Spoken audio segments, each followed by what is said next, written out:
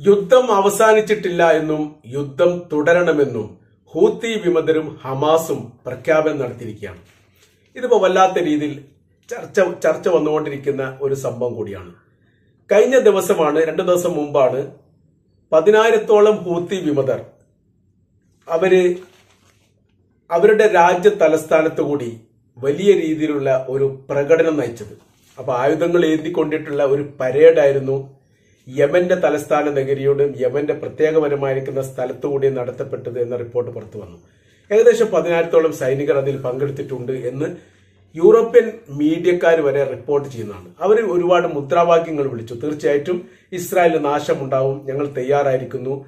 ഒരിക്കലും വെടിനിർത്തൽ തുടരാൻ പാടില്ല. യുദ്ധമുഖത്ത് ഞങ്ങൾ തയ്യാറാണ്. ഇതേ നിലപാട് തന്നെയാണ് ഹമാസും ഇപ്പോൾ പുറപ്പെടുവിച്ചിരിക്കുന്നത്.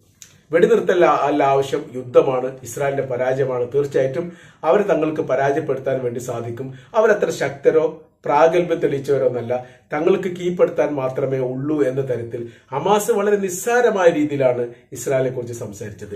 ഇതോടനുബന്ധിച്ച് അമേരിക്കയുടെ പ്രസിഡന്റ് പറഞ്ഞ ഒരു ഒരു റിപ്പോർട്ടും ഒരു അഭിപ്രായം ഇതിനിടെ ഇതിന് ഇതിനിടയിലൂടെ പ്രാധാന്യമായി തന്നെ ചർച്ച ചെയ്യുന്നു. അത് പറയുന്നത് അദ്ദേഹം പറയുന്നത് ജോ ബൈഡൻ പറയുന്ന കാര്യം ഇതാണ്.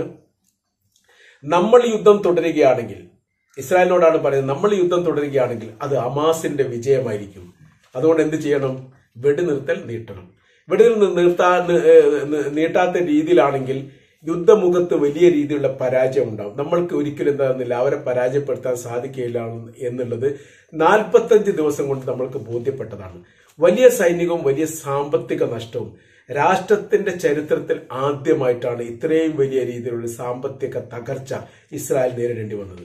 എന്നിട്ടോ നമ്മൾക്ക് അതിനോട് അതിനോടനുബന്ധിച്ചുള്ള വിജയം ഉണ്ടായിട്ടുണ്ടോ വിജയം ഉണ്ടായിട്ടില്ല അപ്പൊ ഈ വെല്ലുവിളി ഈ വെല്ലുവിളി എന്ത് ചെയ്യും? യുദ്ധം തുടരുകയാണെങ്കിൽ അമാസ് വിജയിക്കും എന്നുറപ്പാണ് താൽക്കാലികപരമായ രീതിയിൽ കിട്ടിയ പരാജയം കടിച്ച് അനുഭവിച്ചുകൊണ്ട് പതുക്കെ യുദ്ധമുഖത്ത് നിന്ന് ഈ ലോകത്തിലെ വ്യത്യസ്തപരമായിരിക്കുന്ന രാഷ്ട്രങ്ങളൊക്കെ യുദ്ധമുഖത്ത് നിന്ന് പിന്മാറാൻ വേണ്ടി പറയുന്നു അഭയ ഈ ഈ വെടിനിർത്തൽ നീട്ടാൻ വേണ്ടി പറയുന്നു. അതിനോടനുബന്ധിച്ച് അതിനനുസരിച്ച് കൊണ്ട് പിന്മാറുന്നതാണ്. അതല്ലെങ്കിൽ യുദ്ധത്തിന് വെടിനിർത്തൽ നീട്ടുന്നതാണ് ഏറ്റവും ഉചിതം എന്ന് ജോ ബൈഡൻ ഇസ്രായേലിന്റെ പ്രധാനമന്ത്രിയോട് പറയണമെങ്കിൽ ഈ യുദ്ധത്തിന്റെ ഗൗരവവും കാഠിന്യവും എത്രയുണ്ട് എന്നുള്ളത് നമ്മൾ ചിന്തിക്കേണ്ടതാണ്. അപ്പൊ ഊത്തി വിമതരെ സംബന്ധിച്ചിടത്തോളം ഊത്തി വിമതരുമായി ബന്ധപ്പെട്ട വിഷയത്തിൽ ഇപ്പൊ കപ്പൽ തട്ടിക്കൊണ്ടുപോയത് അഞ്ചാമത്തെ കപ്പലും തട്ടിക്കൊണ്ടുപോയിട്ടുണ്ട് എന്ന റിപ്പോർട്ട് വന്നിട്ടുണ്ട്. അതിൽ അതിനെക്കുറിച്ചൊരു സ്ഥിരീകരണം വരാത്തത് കൊണ്ടാണ് നമുക്ക് അത് കൃത്യമായ രീതിയിൽ പറയാത്തത്. ഏതായിരുന്നാലും ഈ പിടിക്കപ്പെട്ട കപ്പലൊന്നും മോചിപ്പിക്കപ്പെട്ടിട്ടില്ല എന്നുള്ളത് വ്യക്തമാണ്. അത് മോചിപ്പിക്കാനുള്ള ഒരു സംവിധാനം അമേരിക്കയുടെ അടുത്ത് ഇല്ല. ഒരു ഡീലിംഗ് കാര്യങ്ങൾ പറയാനൊന്നും സാധിക്കാത്തതിന് വലിയ പ്രതിസന്ധിയുണ്ട്. അപ്പൊ കടൽ വഴി വഴിയിലൂടെയുള്ള ഒരു ഇസ്രായേലിന്റെ പതാക കുത്തിയ ഒരു കപ്പൽ പോലും പോകാൻ പറ്റാത്ത ചരിത്രത്തിൽ ഏറ്റവും വലിയ നാണക്കേടും പരാജയവും ഉണ്ടായിരിക്കുന്ന യുദ്ധമാണ് ഒക്ടോബർ ഏഴിന് ശേഷം ഇവിടെ ഉണ്ടായിരിക്കുന്നത്. അവരുടെ വ്യത്യസ്തപരമായിരിക്കുന്ന ലോകരാജ്യങ്ങൾ ജോലി ചെയ്യുന്ന ജൂത വിഭാഗത്തിനൊക്കെ വല്ലാത്ത രീതിയിൽ മാനസിക പ്രയാസം ഉണ്ടാക്കുന്ന ഒരു സാഹചര്യം. പുറത്തു പോലും ഇറങ്ങാൻ പറ്റാത്ത രീതിയിലൊരു പ്രതിസന്ധി ലോകത്താകമാനം ജൂത വിഭാഗങ്ങൾ അഭിമുഖീകരിച്ചു കൊണ്ടിരിക്കുന്നു.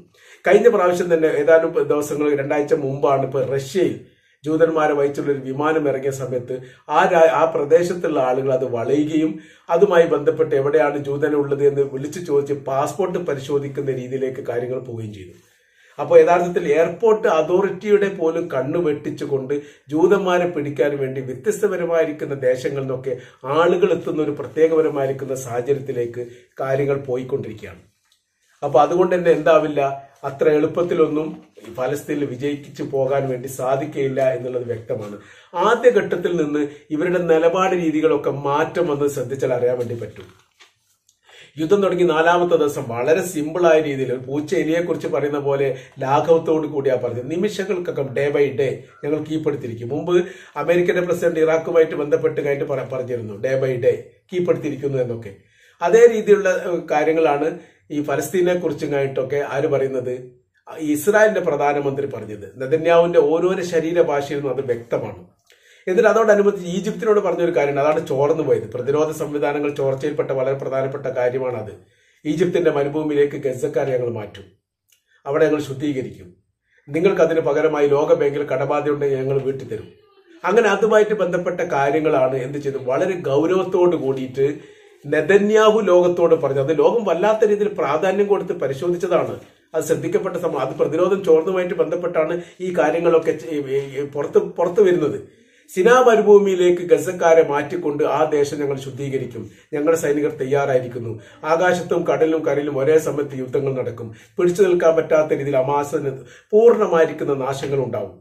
അവരുടെ എല്ലാ അണ്ടർഗ്രൗണ്ടുകളും ഞങ്ങൾ തകർത്തിരിക്കും. ഞങ്ങളുടെ ബന്ദികളെ അവരുടെ സഹായമില്ലാതെ മറ്റൊരു രാജ്യത്തിന് സഹായമില്ലാതെ ഒറ്റയ്ക്ക് മോചിപ്പിക്കും. വളരെ രീതിയിലുള്ള ഒരു ഭീഷണിപ്പെടുത്തുന്ന ഒരു ഒരു നിലപാടായിരുന്നു ആദ്യഘട്ടത്തിലൊക്കെ ആരെടുത്തിരുന്നത്? ഇസ്രായേലിന്റെ പ്രധാനമന്ത്രി എടുത്തിരുന്നത്. പിന്നീട് പിന്നീടൊക്കെ ഇതിന്റെ കാര്യകൗരങ്ങളൊക്കെ മനസ്സിലാകുന്നതുകൊണ്ട് പതുക്കെ പതുക്കെ ആ കനമുള്ള വാക്കുകൾക്കൊക്കെ കാഠിന്യം കുറഞ്ഞു കുറഞ്ഞു വരുന്നത്.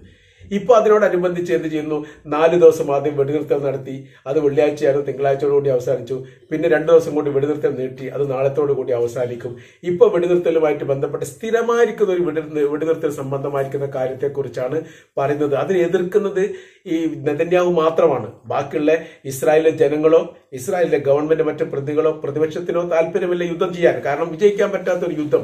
ആ രാജ്യം തന്നെ തവിട് പൊടിയെ കിടക്കുകയാണ്. മുന്നോട്ട് എണീച്ചു നിൽക്കാൻ പറ്റ എണീച്ചു നിൽക്കാൻ വേണ്ടി ഒരു കൊല്ലമെങ്കിലും ഏറ്റവും കൂടുതൽ വേണ്ടി വരുമെന്നാണ് ഈ ഇസ്രായേലുമായിട്ട് ബന്ധപ്പെട്ട റിപ്പോർട്ട് പുറത്തു വരുന്നത്. അവർക്ക് നേർക്ക് നേരെ പഴയ രീതിയിലൊക്കെ ഒരു സധൈര്യം ധൈര്യം സംഭരിച്ചുകൊണ്ട് ജീവിക്കാനുള്ള ഒരു സാഹചര്യം ഉണ്ടാക്കണമെങ്കിൽ ഏറ്റവും ചുരുങ്ങിയ ഒരു കൊല്ലം തന്നെ വേണ്ടി വരുന്നു. അത്രയ്ക്ക് മാനസികപരമായി തകർന്നുപോയി. കാരണം അവർ സുരക്ഷിതമല്ല എന്നവർ ബോധ്യപ്പെട്ടു. അപ്പോൾ ഇവിടെ ഇപ്പോ ഈ ഇസ്രായേലിന്റെ പ്രധാനമന്ത്രി നെതന്യാവിനെ സംബന്ധിച്ചിടത്തോളം യുദ്ധം തുടരാനുള്ള താല്പര്യം കാണിക്കുന്നുണ്ട്. എന്നാൽ തങ്ങളുടെ സൈന്യം പരാജയപ്പെട്ടു പോകുമെന്ന് ഭയപ്പാടുണ്ട്. അതിന് കാര്യം എന്ന് പറയുന്നത് ഏതായിരുന്നാലും തുടർന്ന് ഒരു പ്രധാനമന്ത്രി കസേരയിൽ നെതന്യാവ് ഇരിക്കാത്ത രീതിയിലുള്ള സംവിധാനങ്ങൾ ഉണ്ടാവും. അതാണ് ഏറ്റവും വലിയ വിഷയം. അപ്പൊ പരമാവധി അവിടെ പരാജയപ്പെടുത്താൻ സാധിക്കുകയാണെങ്കിൽ തങ്ങൾക്ക് ധൈര്യപൂർവം ഞങ്ങൾ യുദ്ധം തുടങ്ങിയിട്ട് ഇങ്ങനെയൊക്കെ ചെയ്തിട്ടുണ്ട് എന്ന് പറയാൻ വേണ്ടി സാധിക്കും എന്നുള്ള ഒരു വിശ്വാസത്തിന്റെ അടിസ്ഥാനത്തിലാണ് യഥാർത്ഥത്തിൽ നെതന്യ യുദ്ധം തുടരാൻ വേണ്ടി പറയുന്നത്. അതിന്റെ നാശങ്ങളും നഷ്ടങ്ങളും തൊട്ട് പിറകിൽ ഉണ്ട് എന്ന് അമേരിക്കയുടെ പ്രസിഡന്റ് സൂചന നൽകുകയും ചെയ്തിട്ടുണ്ട്. നമ്മൾ വിചാരിക്കുന്ന പോലെ അല്ല കൈവിട്ടുപോയ കേസാണ്. അത് പരിഹരിച്ചുകൊണ്ട് പരാജയപ്പെടുത്തുക എന്ന് പറയാൻ നടക്കില്ല. നടക്കണം നാൽപ്പത് ദിവസം കൊണ്ട് നിങ്ങൾ നടക്കേണ്ട എല്ലാവിധ സംവിധാനങ്ങളും ചെയ്തു. ഞങ്ങൾ നിങ്ങൾക്ക് പിന്തുണ നൽകു നൽകി. മെഡിറ്ററേനിയൻ കടൽ തീരത്ത് ഞങ്ങളുടെ മൂന്ന് യുദ്ധക്കപ്പലും എല്ലാ സൈനിക സംവിധാനത്തോടു കൂടി ഓൾറെഡി ഉണ്ട് അതിന് അതിന്റെ അകത്ത് ഏകദേശം ഒരു അറുപതോളം വിമാനങ്ങളുണ്ട്. ആകാശത്തൂടെ പറക്കാൻ സംവിധാന കാര്യങ്ങൾ രഹസ്യങ്ങളൊക്കെ പറഞ്ഞു കൊടുക്കാൻ വേണ്ടിയിട്ട് നിങ്ങളുടെ സൈനികർ കുറവുണ്ട് ഞങ്ങളുടെ സൈനികർ തരാവുന്നതാണ്. നിങ്ങളുടെ യുദ്ധഭൂമിയിൽ നിങ്ങളുടെ സൈനികർക്കൊപ്പം യുദ്ധം ചെയ്യാൻ ഞങ്ങളുടെ സൈനികർ തയ്യാറാണ്. ഇത്തരമുള്ള എല്ലാ കാര്യങ്ങളും പറഞ്ഞു. എന്നാൽ ഞങ്ങൾക്ക് മനസ്സിലായ ഞങ്ങൾ അനുഭവിച്ച ഞങ്ങൾ പഠിച്ച കാര്യം എന്ന് പറയുന്നത് അത്ര എളുപ്പത്തിൽ തകർക്കാൻ കഴിയുന്ന സംവിധാനമല്ല അവരുടെ കയ്യിലുള്ളത് എന്നുള്ളതാണ്. അപ്പോൾ വീണ്ടും നമ്മൾ എന്തിന് സൈനികരെ ബലി കൊടുക്കണം? അവരെന്തിന്? വെറുതെ കൊല്ലാൻ വേണ്ടി കാര്യം വിട്ടുകൊടുക്കണം. നമ്മൾക്ക് വിജയിക്കാൻ സാധിക്കില്ല എന്നുള്ള കാര്യം ഉറപ്പാണല്ലോ. എന്ന തരത്തിലൊക്കെ അമേരിക്ക പറയുന്നുണ്ട്.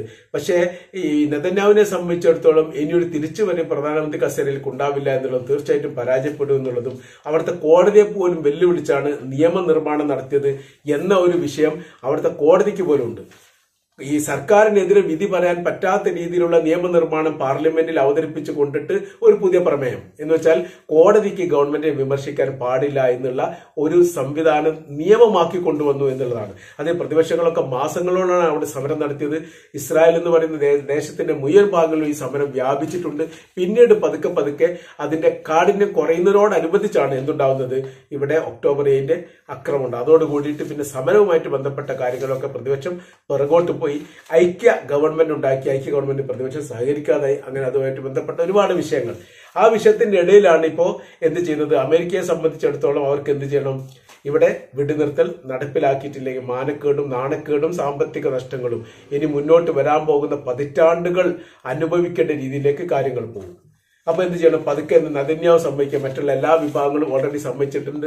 നദന്യാവിന്റെ രാഷ്ട്രീയം അവസാനിക്കുകയാണ്. ആ വസന്തകാലം തീർന്നു. ഇനി ഒരു തിരിച്ചുവരവ് ഉണ്ടാവില്ല എന്നുള്ളത് ഉറപ്പായതുകൊണ്ട് പരമാവധി പിടിച്ചു നിൽക്കുക പരമാവധി യുദ്ധം ചെയ്യുക എന്നുള്ളത്. അതിനോടനുബന്ധിച്ചാണ് ഇപ്പോ ഗസയിലേക്ക് ഈ ഇസ്രായേലിന്റെ പ്രധാനമന്ത്രി നെതന്യാവ് എത്തുന്നത്.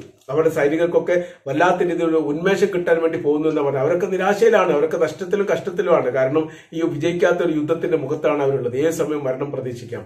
അക്രമം ഉണ്ടാകുന്നത് ഏത് തരത്തിൽ നിന്നാണ് പറയാൻ പറ്റില്ല ഏത് ഭാഗത്ത് വെടിവെപ്പ് ഉണ്ടാകുന്നത് പറയാൻ പറ്റില്ല. അങ്ങനത്തെ വല്ലാത്തൊരു പ്രതിസന്ധിയെ അഭിമുഖീകരിക്കുന്ന സൈനികർക്കിടയിലാണ് ആര് പോകുന്നത്? നെതന്യാവ് പോകുന്നത്. വലിയ പ്രതീക്ഷയൊന്നും അവർക്കുണ്ടായിട്ടില്ല ഇപ്പൊ ഏറ്റവും ഒടുവിലത്തെ വിവരം നമ്മൾ കിട്ടുന്ന സമയത്ത് ഹൂത്തി വിമതർ ശക്തമായ രീതിയിൽ സൈനിക സംവിധാനം ഏർപ്പെടുത്തിയിരിക്കുന്നു. അതിനുള്ള എല്ലാ ട്രൂപ്പിനെയും തയ്യാറാക്കി വെച്ചിരിക്കുന്നു. എല്ലാ രീതിയിലുള്ള വൈദൂര മിസൈലുകളും തയ്യാറാക്കി വെച്ചിരിക്കുന്നു. അമേരിക്കയിലെ അമേരിക്കയെ ഇവിടുന്ന് യമനിൽ നിന്ന് ആക്രമിക്കാൻ പാകത്തിൽ രണ്ടായിരത്തിലധികം കിലോമീറ്റർ വൈദൂരമുള്ള മിസൈൽ റെഡിയാണ് ഒരു അമേരിക്കൻ വിമാനം അവർ വെടിവെച്ചിട്ടുണ്ട്. അതോടനുബന്ധിച്ച് തന്നെ കപ്പലുകൾ എണ്ണപ്പെട്ട നമ്മൾ വിചാരിക്കുന്നതിലേക്കാണ് കൂടുതൽ കപ്പലുകൾ ഇപ്പൊ പിടിച്ചെടുത്തുകൊണ്ട് അവരെ മോചിപ്പിക്കാൻ വേണ്ടി അമേരിക്കക്ക് സാധിക്കുന്നില്ല. ഇങ്ങനെ മുന്നോട്ട് പോകുന്ന സമയത്ത് നാണം കെട്ട ഒരു പരാജയത്തിലൂടെ മാത്രമേ ഇത് അവസാനിക്കൂ എന്നുള്ളത് യഥാർത്ഥത്തിൽ അമേരിക്കക്ക് പോലും ബോധ്യമായിരിക്കുന്നു എന്നുള്ളത് വളരെ വ്യക്തമാണ്.